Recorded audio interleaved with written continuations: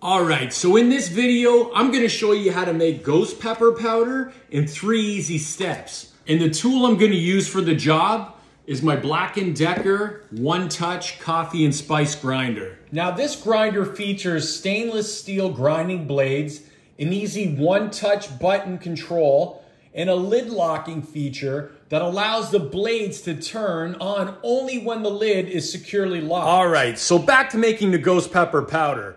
Now, what you see in the tray here is some very, very dry ghost peppers. And that's step one. You need them so dry they are, I don't know if you can hear that. They're as hard, very hard as a rock. And I'll show you exactly how I do and that. And what I do is I hang them on a string just like that for two weeks. And then I bake them in my air fryer that you see here for 20 minutes and I let them sit for an additional week.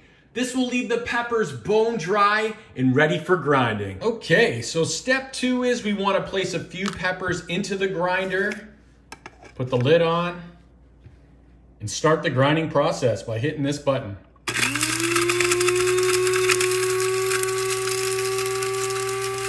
For our final step, step three, we simply empty the contents of the lid into a separate container and then we just repeat steps two through three until we've grinded all the peppers. So here you can see our finished product. However, I will be adding more to this as I dry additional peppers.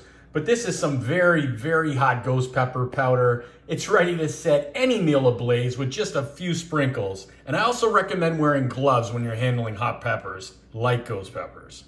Especially ghost peppers.